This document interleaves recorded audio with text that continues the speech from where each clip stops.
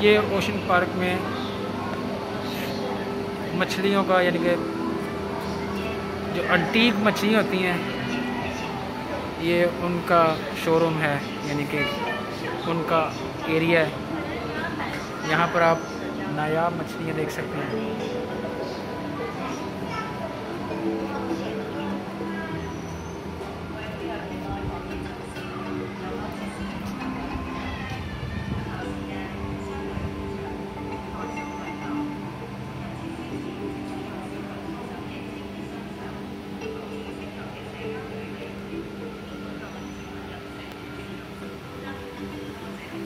इससे पहले आपको यहाँ पर शार्क मछली का दीदार करवाया था पिछली वीडियो में।